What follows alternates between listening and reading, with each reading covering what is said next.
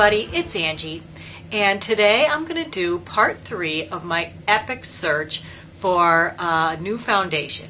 Now, um, the reason I started this is because it's wintertime and the air's so dry, and I usually use Bare Minerals as my go to foundation over a tinted primer. And I was just feeling like it was making my skin feel drier and look drier during the winter, so it got me started looking for a liquid foundation. So I did a bunch of reviews on liquid foundations from both the drugstore and the high end. And um, this week, the third installment, I decided to look at more of the powder foundations. I tested seven powders this week, and of those, I liked five of them. So, considering that I did 15 liquids, high end, and drugstore, and I hated all but one, um, and that out of these, what did I say, seven, I liked five, not bad. So, I would have to say that I am a powder person. I guess I like it that it's a lighter coverage and it looks more natural um, than the liquids. And plus, the liquids, you have to do so many steps. You have to powder over them anyway. And I find that with the powder, you don't have to powder over it. So, cutting out a step, making it more simple. The parameters for this one are that, as with the other ones, I did the teenager test where test where I asked my teenage daughters what they thought of it. So I do ask my teenagers to look at it and they tell me if it's good or bad.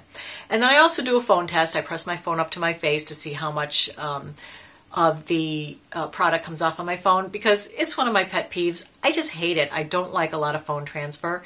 And um, you know what? Some products do and some products don't. I applied each of these using a primer. I have a drugstore primer and I have a high end primer. Uh, so the few drugstore ones, I use the Rimmel primer. And for the high end ones, I either, if I sampled it, I got a sample of a primer of the same brand, or I used my Benefit uh, POREfessional. I tried three high end powders and four drugstore brands. So let's get started. Now, the first one is um, by Physicians Formula. It's called CoverTox 10, and it comes in this little plastic uh, compact. Here's what the product color looks like. Now I'm, you know, the drugstore ones, it's hard for me to color match myself. So I, this one I think only came in two shades anyway, so it was either grab the light or the medium. And it has this little brush with a mirror in the underneath part. So it's not a bad little package. And this was $12.99 and it's a third of an ounce. All right, and this has no SPF in it. Okay, I'm kind of looking down here because I'm reading because I made notes on each of these. So the claims on this is why I bought it. Let me just feel it. This is so soft. This is a really nice silky feel. And there's the finger swatch. So now let me read you their claims, which I felt were fairly outrageous. And um, this one was not good. So the claims were ultra smooth face powder, which is true, actually reduces actually reduces the appearance of fine lines and wrinkles. Uses a blend of FABA and BVOSC, whatever that is, to provide instant and long-lasting wrinkle masking results and improve skin tone, firmness, and elasticity. Hypoallergenic, fragrance-free, non-comedogenic. All right, you'll be shocked to know that uh, it does not mask your wrinkles. and it uh, did not improve my skin tone, um, firmness, or elasticity in any way. Of course, I only used it once, but I'm, I don't think a powder that I'm putting on top of my skin is going to do any of that stuff for me anyway. But with this one, it was really hard to get any coverage. It is it's so fine and so sheer that I could see maybe you might use this as a finishing powder, but it says uh, does it even say it's a foundation? No, it says it's wrinkle therapy face powder. So I don't even know if you're supposed to use it as a foundation or just as a setting powder. I tried to use these as a foundation. Um, didn't reduce wrinkles. It goes when you're, you know, dipping in the brush. It all kind of balls up and falls off the edges, but you hardly get any in your brush. It's so weird. It like wouldn't come up into the brush. And so it was hard to get enough on my face to have any coverage. So I found this was like sheer to zero coverage. And that's in the medium color. I can't imagine what the light one would be like. And you had to put on so much to get any coverage that eventually you would have like this sort of cakey sheen, but still no coverage. So anyway, the teenagers thought it was bad. Um, that was the deal on the CoverTox 10. Big thumbs down on that. And here are the pictures.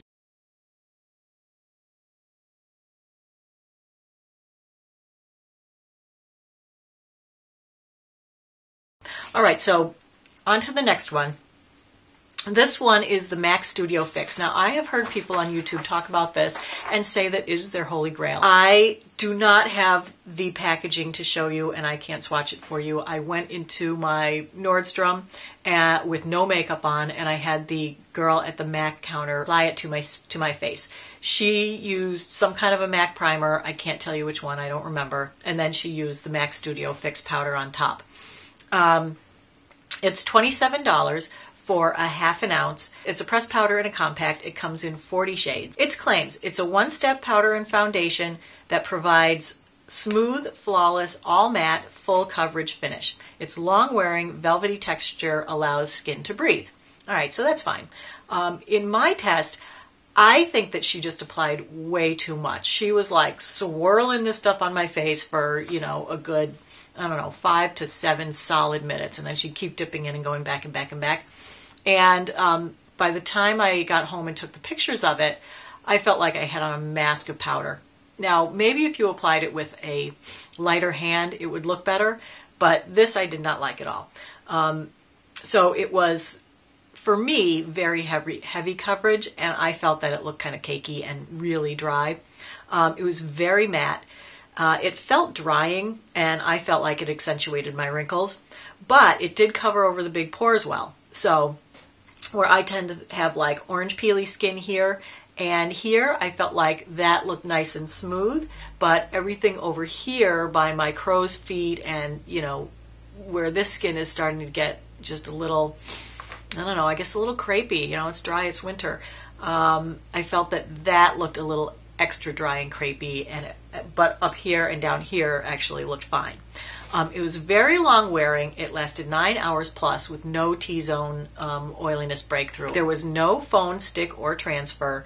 And the, my daughter told me that I looked like a plastic person, that I belonged in, um, you know, the wax museum.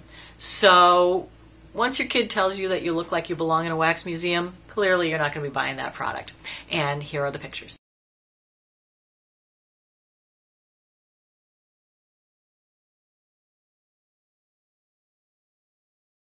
Okay, on to the next one. Revlon Age Defying with, uh, with DNA Advantage. All right, now this is a powder in a compact. Here is what the product looks like. And it's got this lovely little DNA graphic pressed into the powder. It has a little sort of natural bristle brush, which I did not use. I used my own powder brush. And this is, it's silky to the touch, but it's um, it's very hard on here. So it's hard to get a lot of powder on your finger. It's this middle finger here. Oh my gosh. And look how it looks like I've been sitting in a bathtub for five hours. So this one was $13.99 for um, 0.42 ounces. It's um, has no SPF and it comes in four shades. Now this one, cl- its claims are that it's an ultra fine powder, which it is. It helps skin feel conditioned and look luminous, minimizing the appearance uh, sorry, appearance of discoloration. Glides on seamlessly, feels lightweight. Skin looks smoother and conditioned, does not settle into fine lines, wrinkles, or pores. All right, in my test, uh, it took a lot of product to get any coverage, but it was very buildable uh, it feels silky and lightweight. Skin looks smoother but a little dry. It didn't settle into lines, wrinkles, or pores. It was slightly light reflective, giving a nice finish. It needed to be touched up after four hours. The teenagers said it looked nice, and on the phone test, it left a slight residue on the phone later in the day. So early in the day, no transfer. Later in the day, a little bit of transfer. So um, that one wasn't bad. Uh, it's you know, a perfectly fine product. And here are the pictures.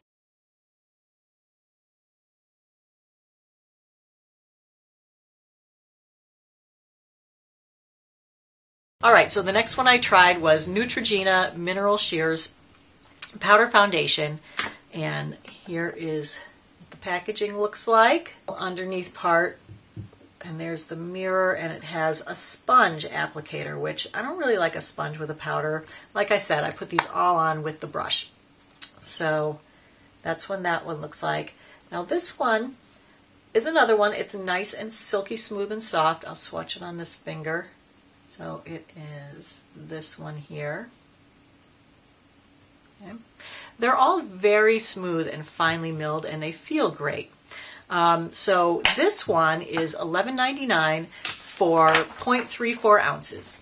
Um, as you can tell, it's a pressed powder in a plastic compact with a sponge. It has an SPF of 20 and it comes in eight shades. Now, the claims on this one um, are that its naturally derived minerals cover minor imperfections. Skin essential vitamins A, C, and E help improve overall complexion. It has no talc, fragrances, or dyes. It provides flawless semi matte finish, creates a naturally radiant and glowing complexion, and it has sheer to medium coverage. Now, um, I like this one quite a bit, actually. This is my daughter's, and I borrowed it from her to use it. Neutrogena doesn't have any specific anti aging products, and they don't have any anti aging claims, which is fine, but their products are good and they, they work well even on wrinkly skin, so I quite enjoy Neutrogena products. Um, so in my test, I felt it was a nice soft powder giving sheer coverage. Adding more to build to medium coverage does look a little cakey, so you have to be careful um, you know, how you apply it. And um, you can't expect to have a full coverage with this because then you will look kind of cakey. Um, it has a soft, dewy finish. It looks very natural. It doesn't settle into lines, wrinkles, and pores. And here are the pictures.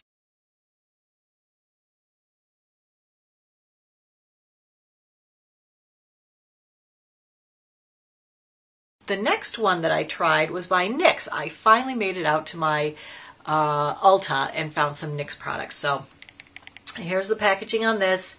This is Stay Matte but Not Flat Powder Foundation.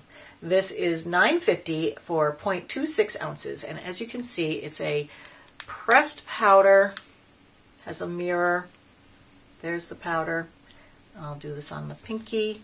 Again, very soft and silky feeling. And there's what it looks like.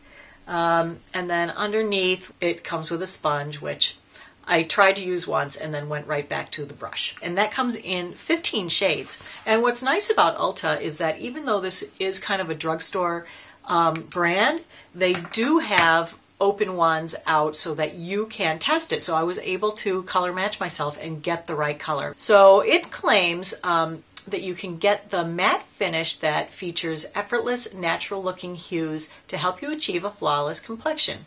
The foundation comes in a variety of gorgeous shades that provide the perfect finish to flatter all skin tones. All right, and in my test, um, I felt like this was a super soft, um, silky feel. It had good coverage and it really evened out my skin tone but it still needed a little concealer for um, like pimples and discolorations. It did not settle into lines, wrinkles, or pores, and it smoothed over my um, orange peel skin. It stayed matte for four hours, and then I had some oil breakthrough, and it needed a touch up. Um, my teenager test, the girls thought it was a good one, they liked it, and on the phone test, it had very little phone transfer.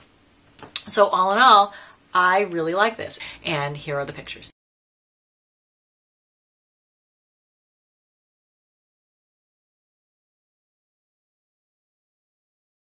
Now on to um, the two high-end ones that I liked, and you'll be shocked to hear that it's the um, Laura Mercier and the Bare Minerals. I did not try the loose powder. I, I went with the pressed powder in the compact. This is what the packaging looks like. It's the mirror and it comes with a sponge as well, which is two-sided. This sided this side is for applying it, and then she said this side is for buffing it in. And I find that after I applied it with the um, with my powder brush, if I went over with the buffing side and you know kind of smoothed it over, it really did make give it like a really smooth surface finish. And I like this because it also kind of wiped the extra powder off the hairs on my face, which is one of the problems I have with the powder is that it clings to the hairs on your face, and that's kind of what gives you that cakey, um, powdery look. Here's the product. Now this one, it so surprised me it does not feel as soft and silky as most of the drugstore brands did. This feels a little grainy. This is $36 for 0.28 ounces. It's an SPF 15 and it comes in eight shades. Now, their claims is that it's composed of a custom blend of pearl powders rich in amino acids. It offers a natural buildable foundation for sheer to full coverage. Creamy texture, oil free, water resistant formula adheres to skin for a color true finish all day. All right, so in my test, um, a little goes a long way. Um, I tried to apply this first with the sponge, and when I put it on, it was just solid. Um, so I was like, oh gosh, okay, no sponge. So then I went, as I always did with the sponges, back to my brush, and even just dipping my brush in and swirling it around like you normally do in the minerals, with the compact, you don't really need to do that much swirling. So I swirled it around and then patted it off and tapped it and did all that stuff. And still, putting it on, it went on very, a very, very thick coating at first. So I think it's one of the ones that you have to play with a little bit with the application to get it just right. But it does go on very smoothly and it blends nice, nicely into um, your skin. All right, the color that I got was slightly dark and tanny for me. So when I was walking around that day, everybody said to me, Did you go to a tanning bed? Were you out in the sun? It didn't go into my pores or wrinkles, but it has a dewy, light reflective finish that shows imperfections um, close up in the skin, it looked really good from you know a distance. And I think I'm looking for reasons to like it and keep it because you know everyone on YouTube loves the Laura Mercier powder, and I'm like, really, can I be the only one out here who was like, eh, it's okay. But on the other hand, I feel like I have to listen to my kids because my kids loved it. They thought it looked terrific. They thought it was the one. So, um, you know, they said it made me have like a healthy glow. While I felt it looked kind of shiny and made me look oily, they thought it looked matte. So I'm like, really? Are you kidding me? oh, the color stayed the same all day. It wore, it, it was completely worn off after eight hours. I felt like it was, you could see all the you know, imperfections and discolorations in my skin by then. But when I washed my face with the Clarisonic, there was still a ton of, um, you know, color on the on the uh, bristles. So I, it couldn't have been completely worn off, is what I'm trying to say. And here are the pictures.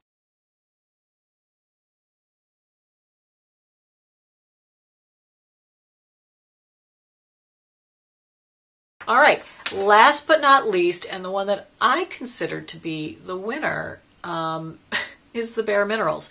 Uh, and so I think I might just go back and try to get the Ready Compact in a lighter shade than I'm using now. But my daughter did not really like how this one looked on me, so now I'm not sure. I'm like up in the air again. So anyway, um, this is the loose powder, and I get the matte. And this is in the color medium. Now, I've had this for years. It shows you how much foundation I actually use, not much. Um, because when I bought this, it really only came in like five colors. And now I go in there and there are like you know 15 20 shades. But this is nice because it does have the travel cap. So you can turn this when you're traveling and then the powder doesn't come out and go everywhere. It closes it. And i love that. That is on the middle finger right here. So that's that one. Okay. The bare minerals powder it is $27 for less than a quarter ounce 0.21 ounces it comes in an spf 15 and it comes in 20 shades. All right, its claims are that it offers flawless coverage with a no makeup look and feel, lasts up to eight hours. Minerals absorb excess oil without drying skin, clinically proven to minimize the appearance of pores, uh, free of parabens, binders, fillers, and synthetic chemicals. This is soft and almost creamy texture. Now, this one was really soft to the touch, so I felt that this was a soft, almost creamy powder. It's very blendable. It can give sheer to medium even up to almost full coverage, depending on how much you put it on and how much you buff it in. It um, makes my big pores practically disappear, and I guess this is why I consider this one to be the best one because I felt like my orange peel skin up here goes away when I put on the um, Bare Minerals. now, my daughter said that it looked weird over here. She said it looked like my skin was kind of stretched and not in a good way. So, almost like you could see the little surface um, wrinkling with her, of course, young laser vision. Um, but I don't see that. And even up close, I feel like it's the same as all the other powders anyway. So if they're all the same here, but it's better here, then that's what makes it the winner for me. Okay, um, so it doesn't settle into lines and wrinkles. Uh, it's a totally matte finish. The other reason that it's a winner for me is because it didn't doesn't try this is the matte right so it's not trying to have any luminosity or dewiness which i feel just you know, shows every line and wrinkle on your face. So I love it that it's matte. Since it doesn't reflect light, it doesn't, I don't feel, accentuate you know, fine lines and wrinkles. Um, it's long wearing with no T-zone breakthrough. I do not really have to reapply this after four or five hours. It goes a good, I'd say seven to eight hours, which is pretty much all I want out of it. There's no phone transfer early in the day, but later in the day, I think because this, it really does kind of go a little sort of creamy. It feels creamy on the surface, so it doesn't feel dry like a powder and it doesn't look dry like a powder, but it does have a little bit of phone transfer later in the day. Here are the photographs. These are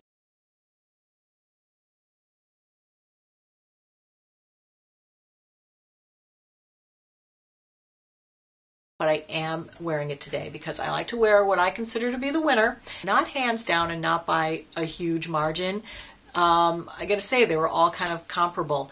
Um, and I would say that if you are on a budget, you could easily buy the NYX product and um, you know save yourself seventeen dollars for the same amount of product, and it it does almost as well. The big difference is in the um, the wearability, the amount of time it lasts on your face, and the oil show through.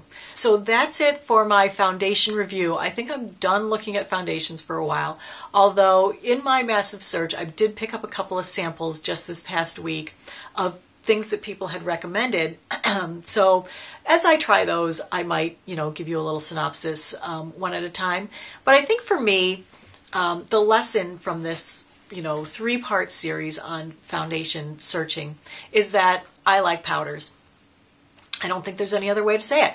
I really was not impressed with with any of the liquids with the exception of the Estee Lauder Double Wear. So if you're a powder person like me, you're in luck because there's not only drugstore brands that work great and can work great for you, but there's also, you know, some high-end brands that look terrific. So um, if you have anything that you like better than one of these or that you've experienced some great things with, obviously um, feel free to comment in the uh, comments below and I'd love to hear from you. So thanks for watching and take care. Bye-bye.